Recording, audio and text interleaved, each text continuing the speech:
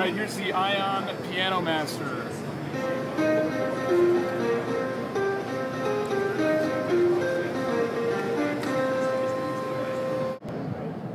So you can move straight through the UI using touch capabilities, pick whatever sounds you want, let's say a pan flute. Or if you want a harp, pull your harp down. You want string ensembles, whatever sort of sounds you want. Of course, you've got your grand pianos. So you can pull up all your sounds straight here. You've got different volume that you can set.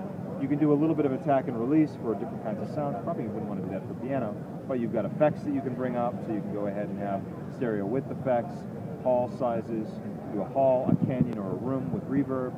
You've got delays, EQs, filters. You can do pitch adjustment as well. Neat. And uh, the educational features are coming on board later. Before we ship it, we'll go ahead and have some educational stuff as well. And when will this be shipping? This should be shipping late spring. Great. Thanks so much. Let's get the full shot here.